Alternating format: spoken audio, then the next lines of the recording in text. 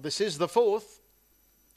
Racing Near the inside, Prophecy and also Major Shard commence well. They're disputing the early lead, but they've got company because there goes Spike Robin.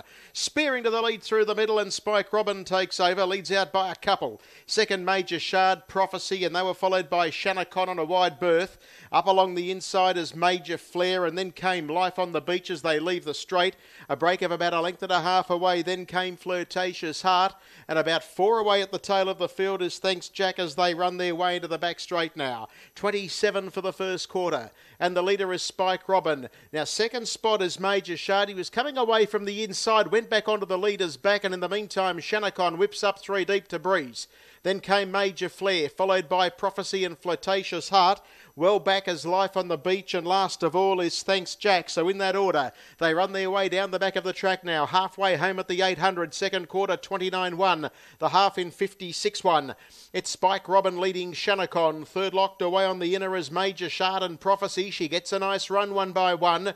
Major Flare, three markers fifth, and then came Life on the Beach, followed by Flirtatious Heart.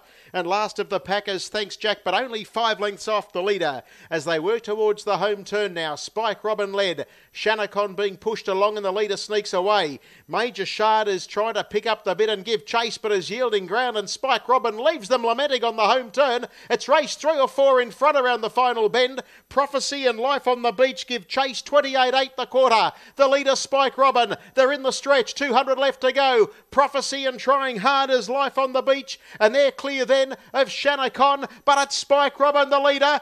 Now it's starting to a tippy toe. Here comes life on the beach on the outside. Prophecy spearing through the middle. A three way thriller. Prophecy, I think, a nose. Oh, it's a rib tickler. Through the middle, maybe Prophecy, a nostril to either Life on the Beach or Spike Robin.